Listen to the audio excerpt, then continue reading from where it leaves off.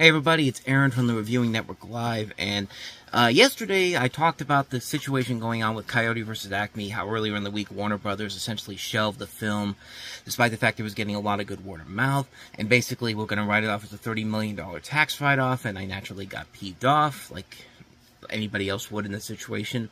And um, I wake up this, I, it, this actually started last night. This is uh, late last night, there were some rumblings going around so, uh, Twitter that uh, this website Puck News put out the story that Warner Brothers was going to let them try to sell Coyote versus Acme to other to other outlets, other studios, and there wasn't really a confirmation of this as of as of last night. But then I wake up this morning to Deadline Hollywood has this story on here saying that Warner Brothers is setting up screenings for streamers of Axe Looney Tunes film Coyote versus Acme, Amazon a Prime candidates. So I think we won. I guess I think the word of mouth finally got to everybody that, at, especially David Zaslav, that there is peop- there are people clearly that want to see this movie. But uh, let me give you the whole story here. This is on Deadline Hollywood. Screeners are being set up this week for streamers Amazon Prime, Apple, and Netflix to check out and potentially acquire Warner Brothers' Axe Looney Tunes movie Coyote vs. Acme after the studio phone ran over the hook, off the hook the entire weekend from angry filmmakers and talent reps over their third film killed after Batgirl and Scoob Holiday Haunt. The most egregious Hollywood sin here was with Coyote vs. Acme is that it's a finished film that was intended for a theatrical release while the other two movies were still in the works. Of those kicking the tires, even though no deals have been drafted, I hear Amazon is a leading contender, given the fact that Courtney Valentine, Valentine the head of the film streaming and theatricals for Amazon Studios and MGM, was a big champion and linchpin for the movie when she was at Warner Brothers as president of production and development. All this boils down to Jen Salke's sign-off, I understand.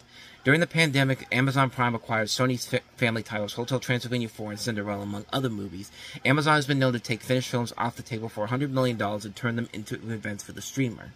When the actor strike just ended and everyone's streamers and the theatrical schedule need a product, it seemed foolish to have a studio like Warner's leave a branded asset like Coyote vs. Acme lying around and take a $30 million tax write off the $70 million production. With Amazon now in the theatrical game, it will be interesting to see if Warner Bros. actually allows the streamer to theatrically release Coyote vs. Acme, since the Burbank, California lot is too cheap to do, the same, to do so given their financial dire stats. Amazon is also a great launching pad for Coyote vs. Acme as the studio has three upcoming films with its star John Cena. Also during a very noisy weekend on social media with Coyote vs. Acme and Gravity Oscar-winning composer Steven Price calling Warner Brothers bizarre anti-art studio financial shenanigans I will never understand. Some have told me that the killing of Coyote vs. Acme didn't come from David Zaslav himself, that the blame should be set at the feel of Warner Brothers motion picture bosses Michael DeLuca, Pam Abdy, and Warner Brothers new animation head Bill Damasch, who are being made the scapegoats. The motives here were to protect the Looney Tunes IP and also scrub the studio product developed by the previous administration. The only thing wrong with that narrative is that DeLuca and Abdy have never fi- had a reputation during their careers of killing previous administration's films or finished movies, not until Warner landing at Warner Brothers. Uh, this is written by the writer of this, um, Anthony uh, Anthony D'Alessandro. As my mother used to say, there's no such thing as a coincidence. Also, we understand that DeLuca and Abdy hadn't seen the finished film of Coyote vs. Acme. Furthermore, it's not a motion picture executive's job to care about tax write-offs for the company. The director comes, the directive comes from financing and accounting. DeLuca didn't even close the, down the besieged new line $90 million Warren Beatty train wreck Town and Country, and if there was a movie that went off the rails, it was that one. Why would these movie executives who had long-standing relationships with talent reps want to give a reputation that they could kill a movie at any given notice? Furthermore, studios take tax write-downs on completed movies all the time. Remember Paramount's $115 million write-down on animated, well, this really wasn't an animated pick, Monster Trucks, in advance of its theatrical release, $64 million worldwide gross. The new Warner Brothers Discovery administration needs to have a come to Jesus with itself, realizing that if it's anything worse than taking a theatri- feature theatrical slate day and date on Max and keeping talented filmmakers in the dark of that, it's axing finished theatrical films. Yeah, we heard that yet that the previous regime's $70 million greenlit movies are too high of a cost for a Max direct to streaming release. However, why wasn't it decided early on by Warner Brothers last week that a finished movie would be sold anyway to a streamer and the money gained on that versus buying it, burying it in the vault forever? The movie's reported high test scores indicated it's a worthy asset somewhere. So, maybe the so the hope is that somebody is going to buy this. I think somebody will buy it because of all the good word of mouth that was coming out of it. But um, it's also going to be interesting to see how this pans out, mostly to see what happens if Warner Brothers looks at this, see how successful this is, and says, you know what, maybe we should try to do the same thing with Batgirl and also um, and also Scoob Haunted Haunt, Haunt uh, Holiday Haunt. I thought Scoob Holiday Haunt was already pretty much finished at this point.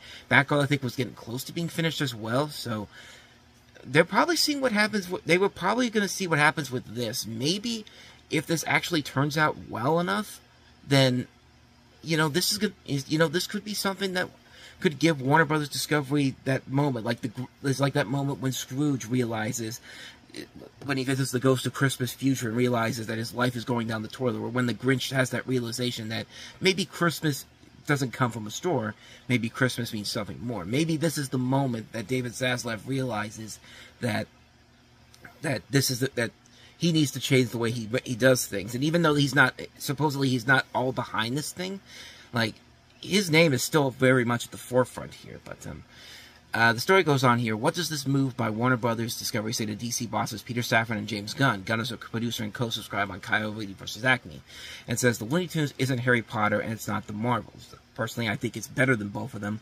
The brand has been turned upside down, reinvented, and reset several times during the course of its history at Warner Brothers. Certainly a family movie that grosses 160 million to 200 million dollars worldwide wouldn't do damage to the studio, but play directly to the audience it's supposed to play to.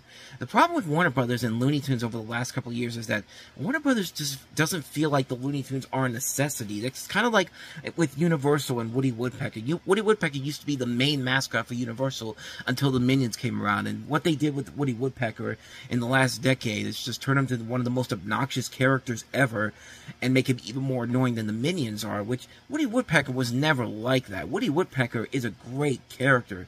Uh, someday on the on the actual show, I'll actually cover the great things about Woody Woodpecker because he really is one of my he's really up there with one of my favorite characters of all time. Like favorite cartoon characters by Mickey Mouse and Bugs Bunny. But the Looney Tunes, the Looney Tunes are synonymous with history. They will always be, there will always be a fan base for the Looney Tunes no matter where you go. So this decision to get rid of this movie made even less sense. But I am glad to see that cooler heads are prevailing. Somebody's looking at the ne negative backlash and saying, we better do something about this. So the hope is that somebody is going to go pick this up. I really do think that somebody will pick it up. Amazon Prime probably would be the perfect place for it. Uh, Netflix too. Mostly, I wouldn't like Apple TV Plus because I don't have Apple TV Plus.